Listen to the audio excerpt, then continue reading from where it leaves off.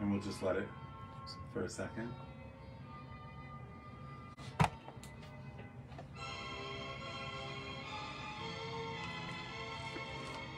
Just see the tip of it.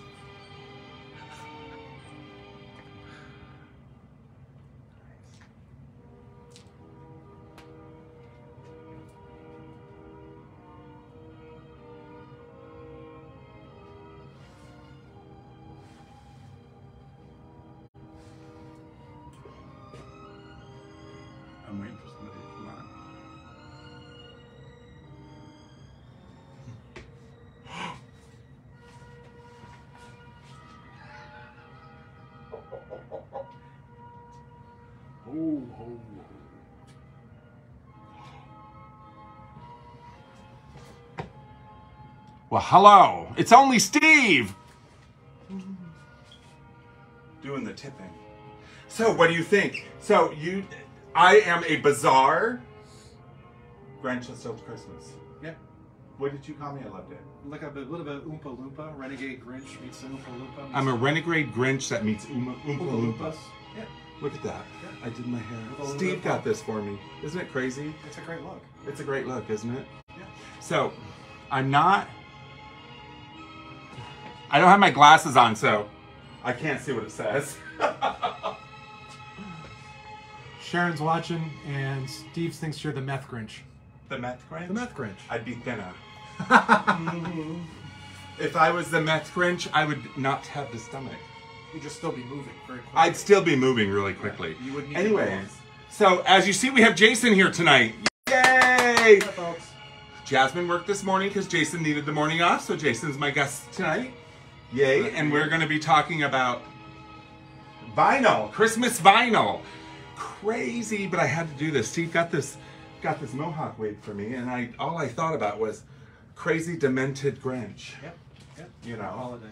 And then I saw these at the last moment, and I had to put them on. Isn't that hilarious? I love it. Anyways, so now it's going to start coming off because it's hot. so Jason's going to tell you a little bit about some of the music, and then I'll log right into it as well.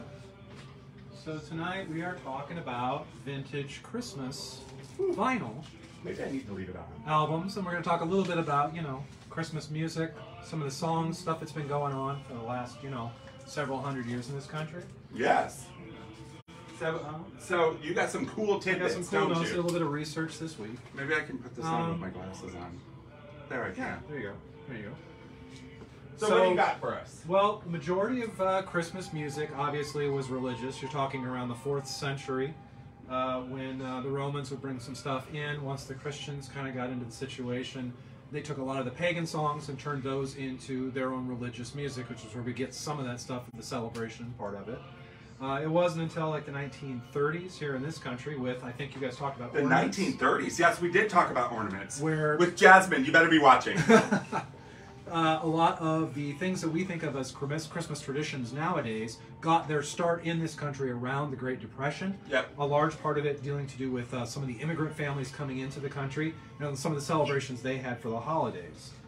Uh, in the 1930s, you're also going to get with the Great Depression a bit more American influence in some of the stuff that's coming out. That is uh, a little less religious and more secular. Uh, and they started kind of pushing some of the music, writing songs towards kids. That's when you're going to start seeing things like Rudolph the Red-Nosed Reindeer, uh, Santa Claus is coming to town, a number of those types of I have them. Yep. Yep. Some of the classics that you may remember. Oh, here we go. About when they talk Snoopy. about. Yeah.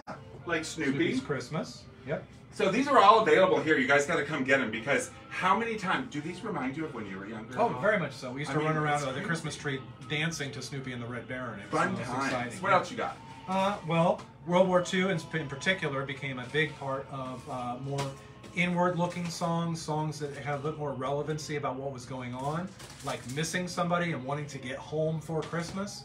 Uh, makes a, a lot more sense when you think about the fact that a lot of these guys were overseas battling, fighting people at home, missing them, wanting them to come back. Idealized versions of what you could expect from the home American Christmas, uh, as far as that goes. So you said it came from what time frame? Did 1930s. Well, the original stuff is you're talking about the fourth century.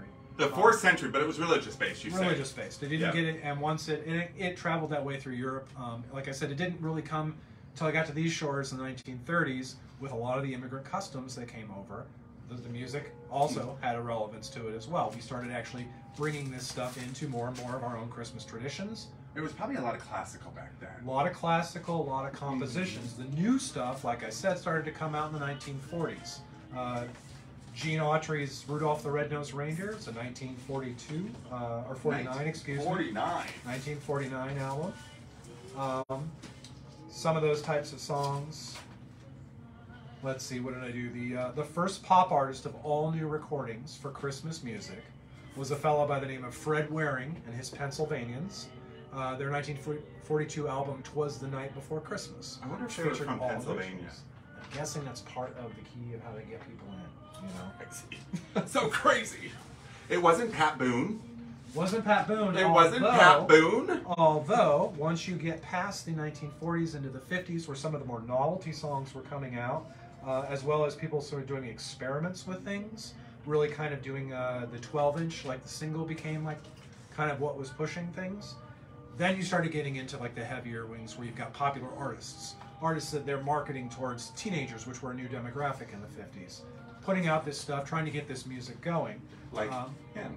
like Pat Boone. Because Pat Boone was a heartthrob in the 50s. Yes, yes. So him putting out a um, uh, Christmas album seems Yeah. like a no-brainer. Yeah, and you had a number of the big recording companies, Columbia being one of them, several others, who used to every year tag one of their artists to do a track for a compilation album that they were putting out. The compilation albums themselves became one of the more popular ways. In the 60s and 70s, some of the biggest selling and some of the most important records were ones that were being put out not necessarily by a music company or a, say a, uh, a musical instrument company or even anybody that really necessarily had stuff to do with Christmas, it was things like banks, things like Firestone. Like Firestone. True Firestone tires. hardware. Yes, we do have a True Value. we're listening to the True Value Hardware That's uh, what had a we're compilation as well. Those are some of the most sought after simply because they would do a different lineup every single year. You could get volume after volume of them. Three volumes here. Right. And they would hire actual famous people to come in and sing these songs. So they're only available on these, Yes. right? Yeah, you can't get them as far as anybody else doing them. They had the rights to them. They were sold directly to the public from wherever they were. Your gas station, your tire station, the the uh, five and dime. What were the ones? Grants. Grants, which I thought was a five and dime. They were sort of a direct competitor with Woolworths. Uh, ended up kind of spinning out and going out of business because they couldn't compete with them. Uh, but they had some of the most sought after of the Christmas Grants did. compilations. Grants did. I don't have any. We, I've never seen one. If you can see it, you know, go check it out because you know you've got some money involved in that. Uh, the oldest popular Christmas music that I was able to figure out or research, we believe, is 1889. It's an Edison wax cylinder, a song called "The Banjo Jingle" by William Lomas. It's basically a jingle bell type riff, but done by a guy with a banjo. Sadly, there are no copies believed to survive of that. If you happen to find a wax cylinder of the banjo jingle, you'll know you've got something in store there as well. So you can have deliverance with Christmas. so um, this is a wax cylinder, but it would be a Christmas one. These are the Edison wax cylinders. This one's broken, but that's okay. I just want to show you. It's wax. It's a round wax ball, right? So you say, what's it called? It's called the banjo, banjo jingle. banjo jingle in a wax cylinder. So um, these were the very first music. Did you know Yeah, that? yep. Or Yep. recorded music. Recorded music as far as that goes. yeah.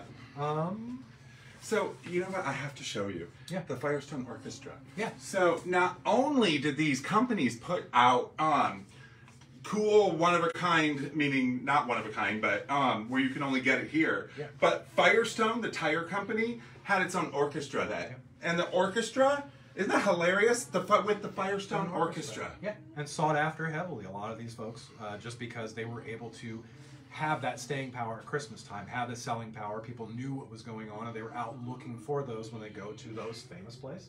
I wonder if Firestone still has an orchestra. It's a good question. You'd have to ask them. I don't know. It's crazy. Yeah. So, real quick, let me tell you some of the things that, um, and then you have more, right? I do have some more. We'll talk in a second Yeah. about those. But, um, I forgot what record this came out. of. okay, I know what it looks It's one of the kids' ones, I think. So, um, we do have sealed records.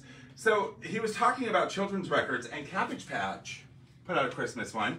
And if you watched a couple of years ago, I did the KFC one because KFC put out one, just Yeah. like the Firestone did, which is crazy. What are you listening for Christmas? Oh, Kentucky Fried, Fried Chicken. chicken. Did a great Um, but probably huge in Japan because that's what they eat for Christmas. Is It's Kentucky Fried Christmas Chicken. dinner? I Yep. I can Um, it's a, it's considered Christmas dinner there.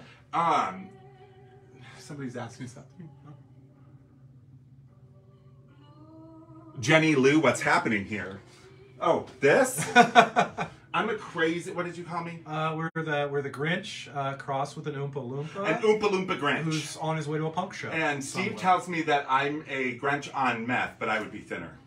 Um, so, anyways, those are fun. But this fabulous thing just fell out of a record, which I had to find. And look at this. Look at the graphics on this. Look at this. This came, it has the lyrics for the album. This is frameable in and of itself. Yeah. It'd be a great Christmas decoration. Oop, because we flipped it around. Yeah. A great, a great decor, decoration to have. decoration to have. What's in my mind? And um, this would be going with. I know what the record looks like. I promise. It's here. Here it is. This goes Oh, yeah. with this album. So look at the graphics on this album, everybody. Look at this. It's old school. Oops, old school Santa. I flipped it, so I'm. I don't know where I'm at. That's all right. It's because I'm an Oompa Loompa. So, um, that is an iconic image that you could actually frame and just put on the wall. Fantastic, and you can collect them all in the back. Yeah. Yeah. You can have the whole line. Or set of them. Fun, right? Yeah. But um, there's a whole bunch, you guys. You have to come in. Now, let me tell you how silly I am. Because I thought the For the music back. I didn't realize Jackie Gleason actually sang, and I don't know if he actually does, but what is a Dickerson? What are you talking about, a Dickerson? Oh, what were we talking about? I don't know. Anyway, so um, Jackie Gleason, this is the male Jackie Gleason that with the model on the front. So um, everybody put out a Christmas album back in the day. I'm gonna take these off because I am hot. Oops, and they're hanging. Too much hairspray. Get the wardrobe malfunction. So, um, everybody back in the day did one. Everybody back in the day did a um, a Christmas album because I know Leonard Nimoy did. Yep. Leonard Nimoy did. I don't have all of these to show you, which is sad because I should have them all. Yeah. But um, and uh, Captain Kirk did as well. Yep. Pat Boone, because Pat Boone may have been a heartthrob back then, but today he's not anybody knows who he is. Pat Boone's daughter is Debbie Boone, and Debbie Boone sang "You Light Up My Life." For those of you who are in your 50s and 40s who actually Can remember the ha- can remember the time. I had the benefit of meeting him and his daughter, and she is fantastic. He is like you'd expect. Um, but then I want to show you because here we have Drummer Boy, right? Little Drummer Boy. But do you think that only one person did Little, little Drummer? Oh, you guys are all chatting about other things. so, um, the reason I showed you that is because the little, the little, little drummer boy. There's another one too somewhere. The little drummer boy. The little, the little drummer boy. Several different artists put these, uh, put these out. We carry them. They're fantastic. All of our records are 30% off all the time. And I do know quite a bit about albums because I did run a record store for years. So did you, actually. Did no? Well, we- did There you was in the music part? I was never in charge of the music department, but I was in charge of the guys who were in charge of the Yeah. music department. Um, so like this mistletoe, little drummer boy. Yeah. How cool! And these records are beautiful. So you'll have to come in and take a look. Yeah. What do you have there? Oh, this is just a special that RCA put out. It's uh, just music to trim your tree by. Music to trim your tree. And it's by. pretty much a, a, a medley of classics. You're going to have Vic Damone on there, Arthur Fiedler and the Boston Pops Orchestra. Uh, Chet Atkins does a lot on this as well. So the kind of thing that, you know, again, like we were saying, the record companies would get together, get some of their best artists, come up with an idea, you know, put some songs together, and then merchandise the thing out. So a lot of people that are um, my age, um, mine and Jason's age, a little bit older, a little bit younger, know about the 80s Christmas music. Yeah. And I would show you our 80s Christmas music if I had any because every time I get it, it goes flying out. Um, yes, the little drummer, Joan Jett's little drummer boy is the best. Are you kidding? Absolutely, and I wish I had it to show you. Yeah. But a very special Christmas. Um, you know the, The what is John? Bing Crosby. Yeah.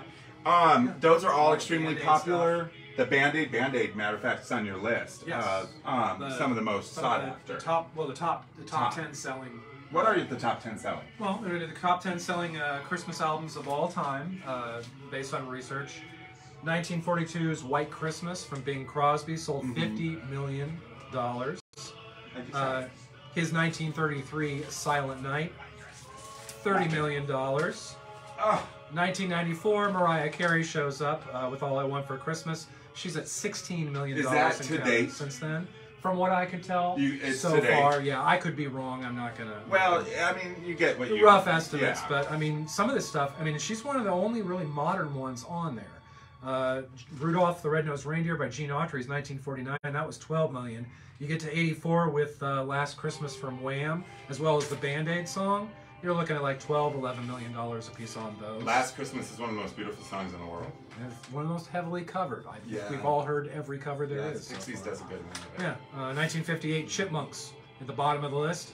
Five million dollars. Christmas don't be late. For the Chipmunks. Yeah, all time. Um, so that's actually good to know because those are the top selling ones, and Mm-hmm. you know I'm sad because I do like Mariah Carey's song, but I don't know if one song makes you in the top. You should That's have part a, maybe an album. Yeah.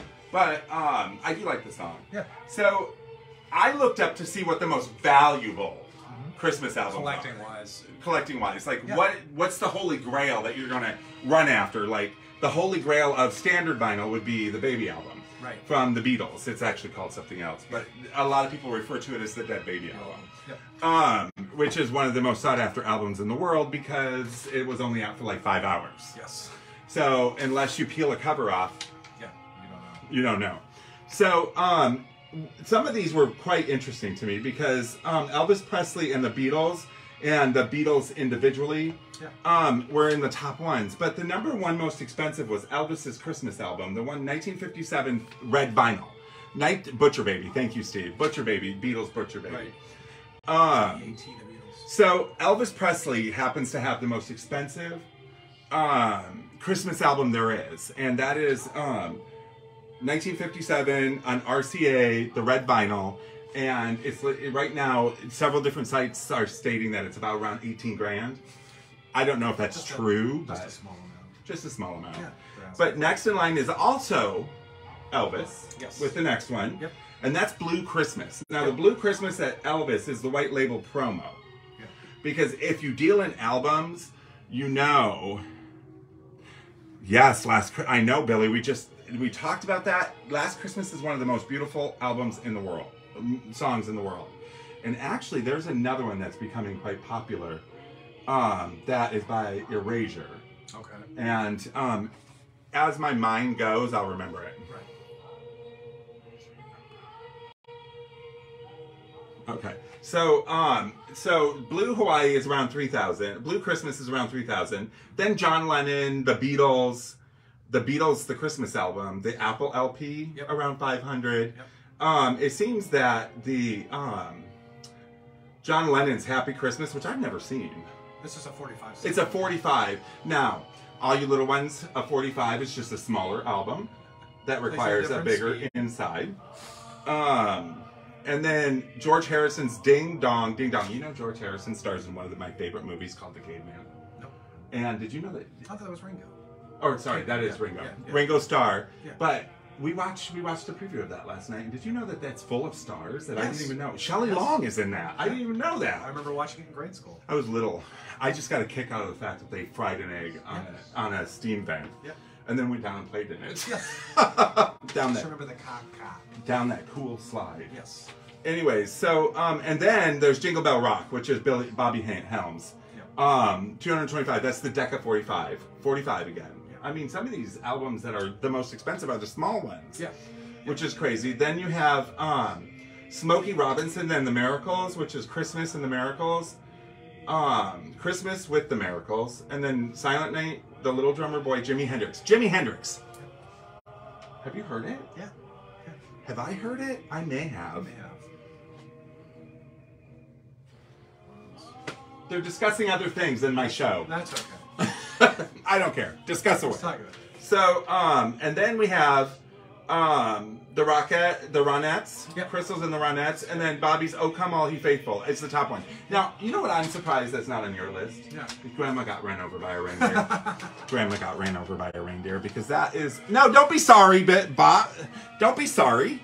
Talk away. It's like the. Uh, it's I'm like just the, making fun. That's all. It's like the tail end of the vintage for me, as far as that goes. Grandma got run over by a reindeer. I remember it coming out. It's obviously vintage now. Well, obviously, but But, it's a uh, fun one. Yeah, yeah. The novelty songs really Mhm. kind of like that's, and that's I think that's one of the things I was uh, excited to realize was that the novelty stuff really started to push through after the '80s uh, because of the fact that the majority of Christmas music, if you think about it, it's rare that you get a bevy of like new Christmas musics. Okay, Run DMC's Christmas in the Oh yeah, yeah. Yes, Yeah. that is a good one, and actually, I think we have. And I think a large part of that, Uh, a lot of those, a lot of those tracks are off of that very special Christmas. it is off this the very special. first one, which Yeah. again, you're getting back to like a company going in, picking and getting artists Mm-hmm. put together, using a project. At that point, I think it's like that's like the super idea of what like Firestone was doing. Right. You know what I mean, or, Mhm. or RCA, that type of. Thing. And if you think about it, the um, they were doing along the same lines with the very special Christmas because they were using Yeah. Keith Haring's work Yeah. as cover art. They were pulling in more local artists, Yeah. more um, relevant artists like. Keith Haring and um, Right. what's his name, the cookie jar guy. Um, I can never. The pictures. Who's in my head right now? Um, the uh, yeah, yeah, yeah, How around New York. His name totally escapes me. Uh, Warhol. Yes, Warhol. Oh, okay. So Warhol covers. See, look at that. I'm losing my mind. either their Basquiat. Like my the color, Yeah, that's what I'm saying. the color Warhol. So they started bringing in more um, more local artists Yeah. for them. And well, I say local because that was probably done in New York where Keith Haring was. Yeah. But um, it was big for, for them to do that back then. Is bring artist covers because Yeah. Keith Haring had it. I mean, he's Well, so- and that's and that's I think that's one of the things too we were talking about was you'll notice that uh, a cover this season may be the real popular song. Yeah. But it's still a cover of a song that you know because it, it was a Christmas song that existed beforehand. The popular Christmas music, it's difficult to get new ones in there into the popular consciousness because Christmas is all about nostalgia. It's all Yes, about is. wanting to remember that music you were listening to as a kid. Right. And that stuff that made you feel good inside. that's exactly It's- it, yes. It's a version of that, maybe with a new artist, maybe the new way of doing it. Um, but that's again, that's I find that very interesting that you've got something that's not really going to have a lot of shake it, break it type stuff and brand new uh, intellectual properties, just simply because people don't necessarily want that. They want what they came up with, what they grew up with, what makes them feel good, and they remember. That's what it's all about. Yeah. Okay, so when we're talking nostalgia and we're talking Christmas albums and Yeah, stuff like that, vintage. we gave you some some cool tips and ideas of, of how it started and, and all the statistics. Yeah. But really, when you're buying Christmas music, it's about what memory it sparks. Yep. And nine, what I hear owning a vintage store, and I'm sure you hear it too, working here for as long as you have, Mm-hmm. um, he's been here forever, and we are very thankful. So, um, sometimes just walking in and seeing the cover will spark the memory. Yeah. You may not even know what the album says, but this cover right here was every Christmas of your of your single digit years. And that's what's going to sell your record. So Yeah. when you come in and look, don't worry about I mean, the album will play. Yeah. And it's great because we don't sell crappy album, you know, bad um We conditioned try and check our vinyl before it hits the Yeah. floor. And um, even if you never play it, Yeah. You put it out as a Christmas decoration. Yeah, very much so. We had we, all the Christmas albums used to come out when I was a kid. We'd set Yeah. them up around the music area and the stereo, so that was another corner of the house that was decorated Yeah. in its own imitable style. And I got to tell you, especially if you have a small house, um, if you're in an apartment in Manhattan or California and you don't have a lot of space, you don't have a lot of money, talk to your parents, talk to somebody. Go to your local vintage store, go to your local thrift store, buy some Christmas albums. There's your decoration. Yeah, yeah. You know, do a little ceramic tree or and that's something. and the bonus of collecting with Christmas as well is that a large number of this stuff, since it only gets played once a year, it's going to be in better shape than the albums, you know, pop music albums that you're picking up. Yeah. Not to mention the fact that because it's not in real high demand, you're going to find really good prices on You most, are. on most of your vintage Christmas. You are, and and I'm telling you, like nine dollars, eight dollars, six dollars, and they're thirty percent off. So Christmas albums, unless they're on that list, Yeah. Um, should not be outrageously priced. Right. So easy storage. Put them in your record collection. Yep. Because if you're going to buy records and put them out, you most likely listen to them. Yep. Um, and then they don't take up a bunch of space. So, Yeah. you know, it's cool. It's a cool decorating tip as well. And sometimes when you come in, and one of the things that I want to get, I, I try to get through to people is sometimes just spending time with your parents Yeah. through a vintage store Yep. Will will go miles beyond what a gift that you buy at the store is. Yeah. You know, coming in and listening to them as they talk about remembering this when they were a kid at Christmas and they're sharing that on to their kids. Right. So, you know, come in, spend some time, walk around with your parents. Walk around with your your aunts and uncles, your whoever it is. Yeah. And listen to their stories because that is a gift that you are going to wish you had. Yeah, yeah. As well as being able to talk about the music or Yeah. understand what was going on with them or the time period, how they grew up, you know, what what uh, memories they might have, and how it shapes everything from there on out. And you might be surprised because if your parents liked it, there's a good chance you might like it. Yeah. And or something similar to it. So Yeah. Well, we all change as we grow older. Um, I, from speaking from personal Mm-hmm. viewpoints, a lot of the vintage crooners, when I was a kid, couldn't stand it. It all had to be new. It all had to be what was coming out, what was going to be the top pop stuff. And nowadays, I have spent so many years listening to the Nat King Coles, uh, to a number of the Bing Crosby, Yeah. um, a lot of the older stuff that's just the classics, and it becomes a standard for a reason. I mean, Nat King Cole sang uh, what was his big Christmas song. Yeah. Okay. So Nat King Cole sang that, and Natalie Cole, Yeah. his daughter, wanted to feel close to him. So what she did was she picked the Christmas song. Yeah. And his Christmas song, and she sang his Christmas song with the the avatar of him because he had passed. But see, it was just out of nostalgia. Yeah. Um. Henry Mancini. Yeah. Good. Another, yeah. We all know the name of Henry Mancini. Yep. He did movies, scores, and stuff like that. Yeah. Um, so his Christmas music could bring back memories for people who grew up in California or Yeah. who were big movie pl- places. Yep. We have so many different kinds. It's crazy. Yeah. Living voices. Yeah. I don't even know what that Christmas, is. Christmas favorites is probably another compilation that's It put is. together. Yeah. Yeah. Little Drummer Boys on everything. Well, yeah. It should certain book, they, I mean, certain songs become the standard for a reason. 12 Days of Christmas. This is a great cover that could be used as decoration. Yeah. Especially in a nice mid-century home. Yep. You know, pipe Oh, organ. yeah. Just Now, I'm showing you pipe organ because pipe organs, um, chimes, bells, uh, it was common Yeah. back in the day for Christmas music. Yep. So you will come across a lot of that. Yeah. And you'd be surprised that you'll remember it. You know, different Magnavox yeah. put out an album. So there's all sorts of companies that put out albums, and as you can see, we another drummer boy. Yeah. Mm -hmm. Yep. Um, and then what's this? Great songs of Great songs at Christmas. Oh, that's Henry artists Mancini. I went yeah. through. Yeah, yeah. Okay, so um, there's that. Now I am going to tell you about the number one, the number one, be- um, the number one best-selling collectible, and it's not exactly the most expensive or the most bought. Right. It is the most collectible, and there's a reason for it. So here's a little tidbit that's gonna um, that's gonna make you laugh in a way. Phil Spector. We all know who Phil Spector is, right? Give me hearts if you know who Phil Spector is. Come on now. All Who's listening? No hearts. Nobody loves us. Okay, Steve, what are you doing? You could give us hearts. so, anyways, Phil Spector. Maybe it's Phil. Hearts will come. I know. Well, he's dead, isn't he? Yeah. Yeah. So Phil Spector put out a Complicated Christmas guy. album called "A Christmas Gift for You." Oh, there's one. Oh, see, somebody does. There you go.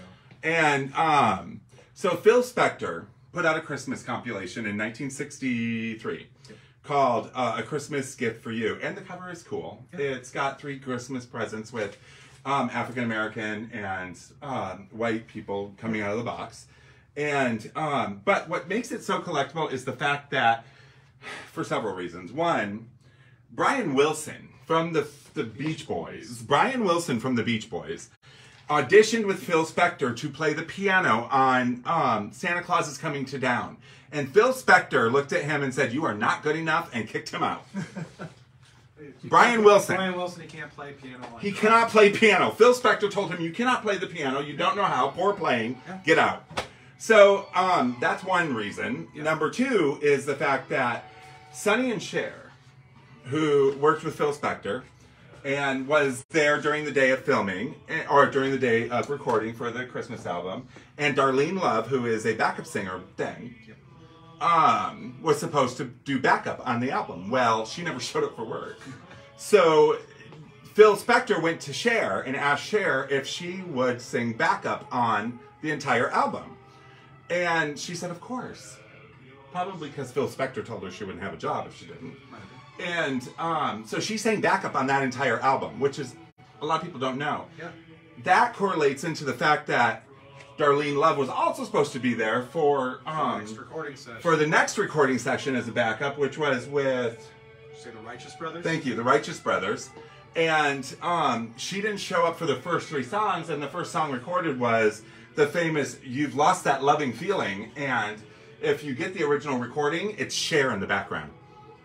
Isn't that hilarious? Blows my mind. Plus, one of the other things about the album, the, the, the Phil Spector's A Christmas Gift for You, is he had arranged the release to coincide with President Kennedy's um, visit to Dallas, and they released it that morning, and he was shot and killed that afternoon. Yeah. So there's a bunch of amalgamation of things that re- that caused this to be one of the most collectible albums.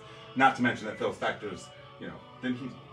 What did He- he, he murdered bad? somebody. He murdered somebody. Yeah, he murdered somebody. So, um, Complicated guy. that's one of the reasons for that. But I was stunned about Cher Yeah, that's that's one of those things you just don't think. and the fact that she's Why on. you? You're gonna lose that love and feeling. So, Yep. you know, you never know who you're gonna hear on a Top Christmas Gun people album. owe her some money, I think. Apparently. well, back then, Phil Spector owned the rights to that, I'm sure. But, um, so you never know what you're going to get on a Christmas album. And a Christmas album is much more than just music. Yeah.